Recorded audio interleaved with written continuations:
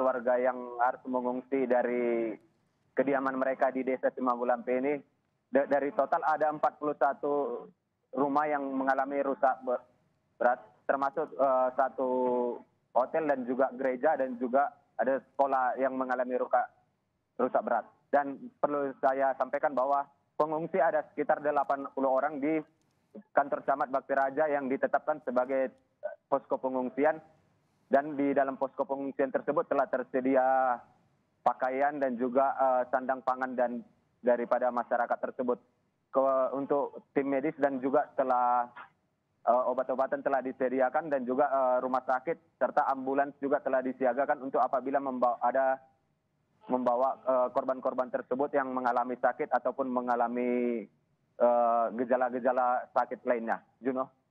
Baik, terima kasih atas laporan lengkap Anda, Ermendo Sinaga dari Humbang, uh, Hasudutan, Sumatera Utara.